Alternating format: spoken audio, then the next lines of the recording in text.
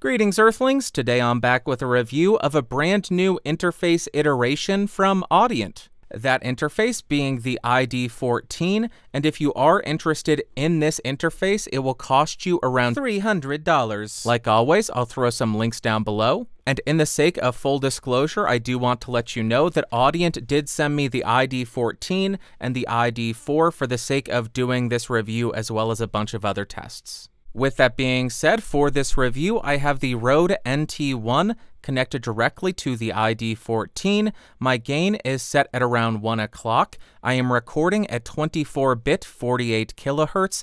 I will not do any kind of post-processing, but I may have to boost it a little bit in post, so check the doobly-doo to see what I diddly did. And now let's talk about what comes in the box. What a shocker, you are going to get the audio interface, you're going to get a USB C to USB C cable, a quick start guide, and you get access to a bunch of software that you're able to download off of their website.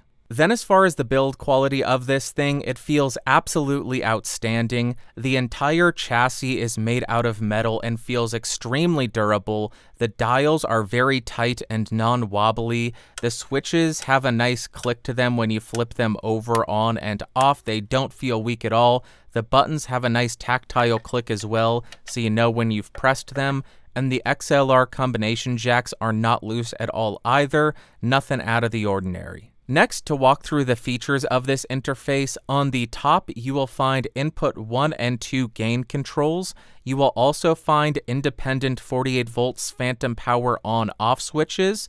Next to that, you will find a meter ranging from negative 36 dB all the way up to 0 dB, which will show you the level of the headphones or speakers that you're adjusting, as well as your playback level. Beneath that, you will find a USB light letting you know that you're plugged in and getting sufficient power. Then on the bottom right of the interface, you will find three buttons. The first one being a button to select the monitors and allow you to adjust the level for the monitors. On the right hand side, you will find a headphone button to allow you to adjust the level of the headphones. And in the center, it has the ID button, which you're able to assign to do specific functions from the software if you want to do anything like that. But if you don't, you can just use this to scroll around on your computer. Then above that, you have the massive volume control, which you will use to control the headphone and the monitor levels. And it also is a massive button. So if you push this, what I found is it mutes the computer playback. On the front of the interface, you will find a single high-Z quarter-inch input, which does allow you to plug an instrument directly into this. We'll test that a little bit later. And this also takes over the XLR port in the rear of the interface, meaning you cannot run a mic into channel 1 and an instrument into this high-Z input as well.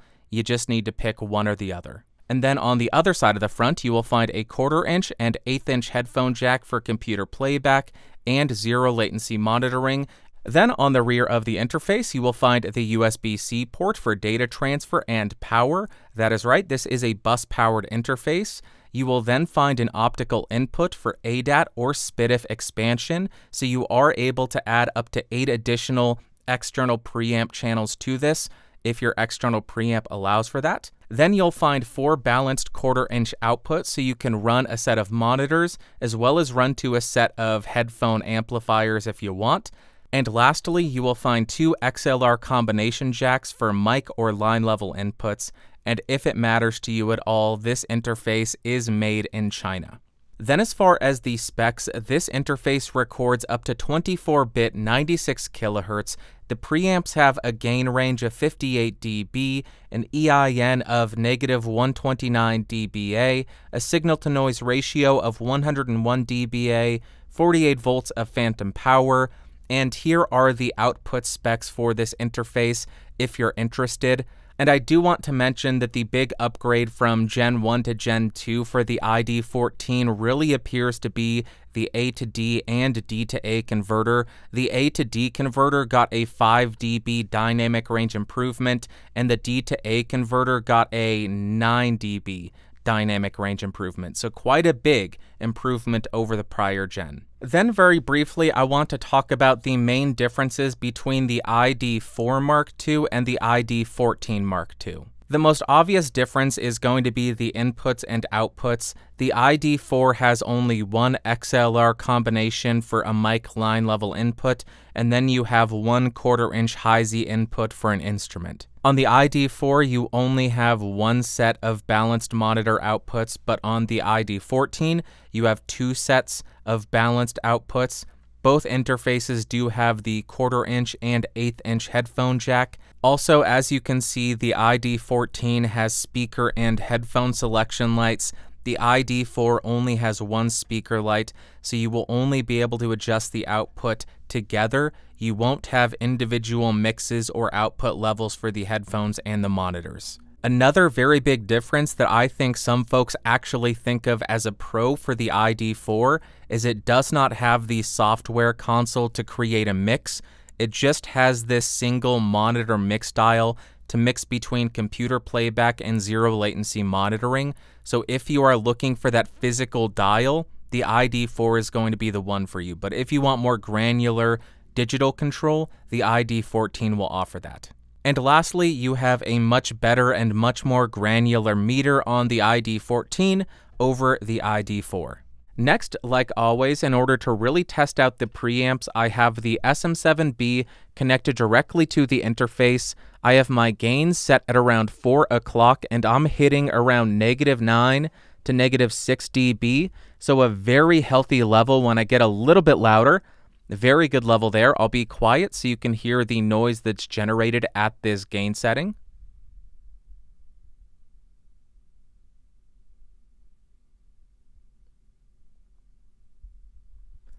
And there you go. Perfectly capable of driving the SM7B. I'll even increase it to 100%. And now the gain is set to 100%.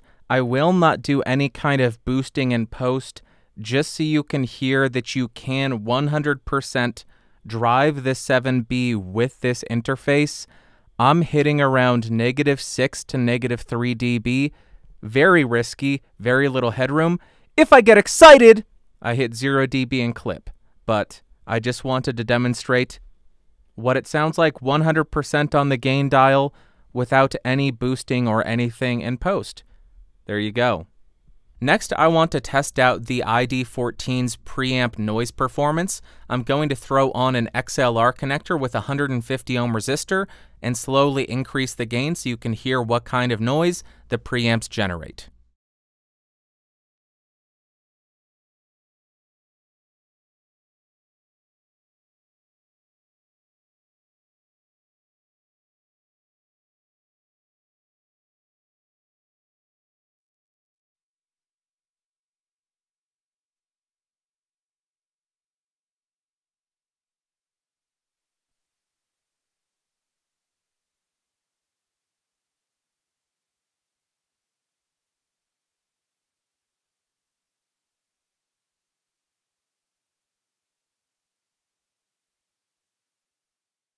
Then when we look at latency with the sample rate set at 48 kilohertz and an I.O. buffer size of 64 samples, we have a 9 millisecond round trip latency or 4.5 milliseconds output. When we jump up to 128 samples, we have 11.5 milliseconds round trip or 5.5 milliseconds output. And when we jump up to 256 samples, we have a 17 milliseconds round trip or 8.5 milliseconds output. Then when we bump our sample rate to 96 kilohertz and the I.O. buffer is at 64 samples, we have a 7.5 millisecond round trip or 3.7 milliseconds output. Increasing to 128 samples, we have a 9 millisecond round trip or 4.3 millisecond output. And finally, increasing to 256, we have 11.5 milliseconds round trip or about 6 milliseconds of an output latency. Next, I'm going to go ahead and plug my electric guitar and my electric bass directly into this thing so you can hear the raw DI input. Then I will switch back and forth between the raw as well as an amp simulator version, and then I will create a full mix with all DI amp simmed guitars and basses.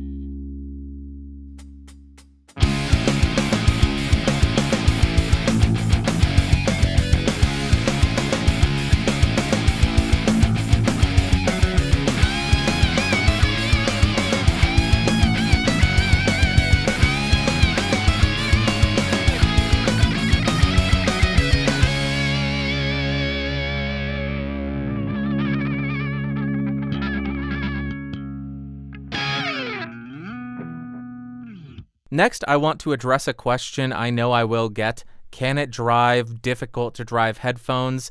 In my experience, it's perfectly capable of even driving the Sennheiser HD650s, which are 300 ohms and fairly difficult to drive. Drives them with no problem, able to get a perfectly listenable level and a clean signal as well. Now, here is a very quick look at the ID software that you use to mix your audio for the ID14. I am not going to be doing a huge, massive deep dive on this thing, just a quick rundown.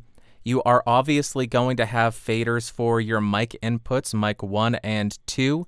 This is going to be what you hear in the headphones as well as the monitor outputs. You are also able to make some minor adjustments here, one being a 10 dB boost. Let me engage that. And now the microphone should be 10 dB louder. And I think I just clipped. But there you go. You're also able to invert the phase if you have any phase issues there.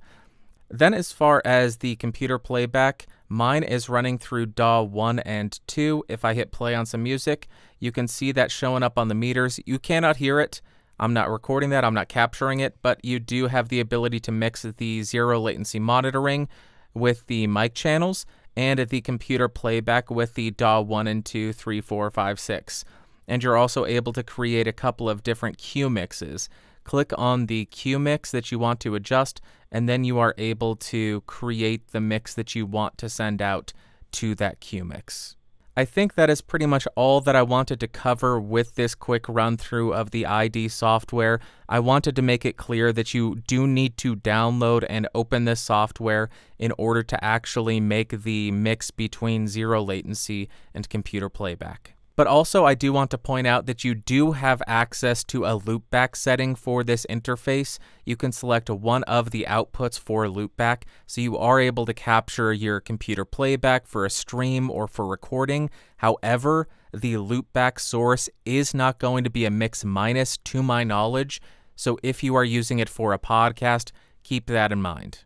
Okay, it is no secret that I loved the original Audient ID4. I thought this thing was awesome, and the Mark II versions of their ID series interfaces are just better. They're improved. How could I not like them? but first up, let's talk about the pros, and the first pro is the preamps. They are insane.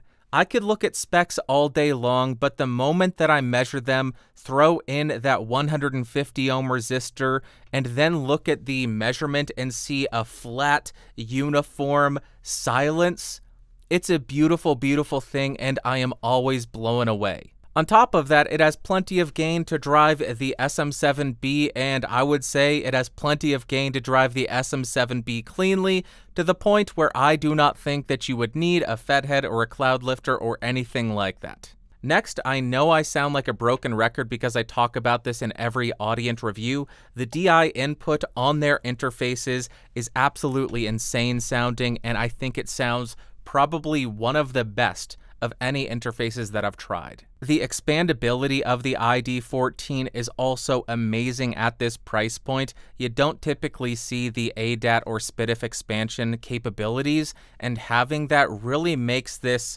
something that you can grow with as opposed to just getting stuck with two inputs and then having to upgrade to a different interface down the line. Also, they did not have to do it, but I think it is a very nice touch to see the second set of balanced quarter inch outputs. Just makes it easier to run to more headphones or anything like that. The latency on this thing, very workable. I had no issues running amp sims and the headphone output is perfectly capable of driving difficult to drive headphones like the 650s. Then, as far as cons, there's really nothing that sticks out to me that I dislike about this interface. It just works and it does everything I need it to do. But I do know that some folks are going to hate having to have that software on their computer. They would prefer just having a physical mix dial for computer playback and zero latency monitoring. But that's a lose lose because 50% of people are going to want the software to get more granular control. The other 50%, or maybe even less, will want that physical dial so they don't have to download anything. Another thing that I noticed, it's less of a con and more of an FYI. I was not able to get this to play nicely with Discord. I had to ultimately create a new aggregate device using Loopback to route my microphone input to Discord and get it to function properly. So if you're buying the ID14 for Discord, keep in mind you may have to do some fancy digital routing to get your mic there. And to wrap up, would I recommend the Audient ID4? That's difficult. I mean, of course, I would recommend it, but there are questions that ought to be answered. That's why it's difficult. The reason I'm saying it's difficult is because around the $300 price point, you have some killer options with the Motu M2 and the SSL2 Plus. Now, if you do need the ADAT and SPDIF expansion, ID14, absolutely I recommend it. If you want some more color to your recording, if you want some SSL flavor, and if you need MIDI I/O, SSL 2 Plus would be the route I would go. Or if you want the fancier display, if you want the better meters, you want the MIDI I/O, then the Motu M2 would be the route that I go with. Really, any of these would be great. They all have amazing preamps, they all have amazing features. The ID14 just stands out with that expansion if that is something that you need. Okay, I think that's all that I have for you today. I would love to hear from you in the comments down below. What do you think of the ID14 Mark II? Let me know down below. If you found this video fun, interesting, or helpful, go ahead and give me a thumbs up. Hated it, thumbs down. Want more videos, subscribe, logo down beneath me. And if you want to support the channel and become one of these amazing people over here, you can click that join button and join at the $5 tier or higher or you could head over to patreon.com slash podcastage and join at the $5 tier or higher. Really does help me continue to continue to bring you these videos. I love you so much I can't even speak straight. I will talk to you all later. Thanks for watching. Thanks for listening. Bye.